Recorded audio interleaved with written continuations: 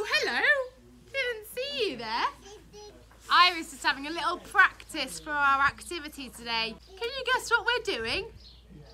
Hi everybody, welcome back to Garden Time with Kate.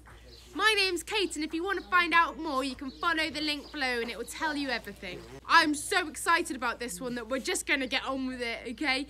Today is Tricky Thursday and you guessed it, we're doing dancing!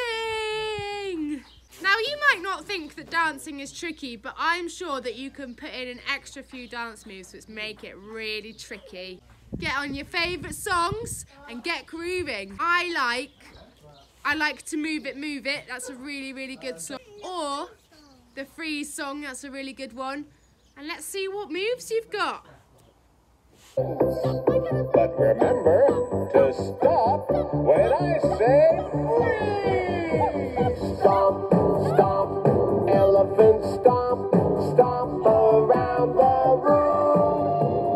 Elephant stomp around the room. Let's stop when I say freeze. Get ready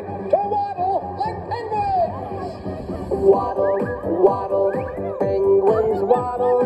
If you're happy and you know it's not your feet, stop, stop. If you're happy and you know it, turn around.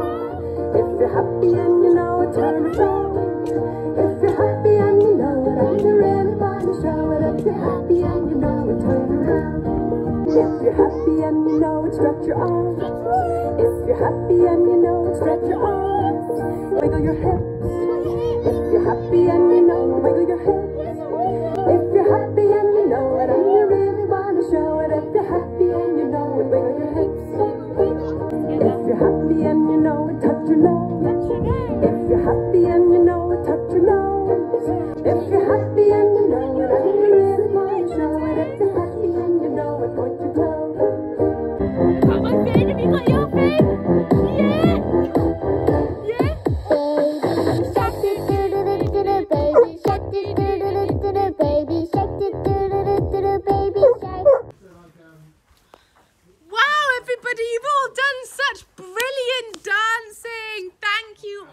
For coming along and for having such a lovely time in the garden doing some dancing. Keep on dancing. Let's keep on seeing those moves. I'm having such a nice time and I hope you are too. You've been watching Garden Time with Kate. On our tricky Thursday today, we've done dancing.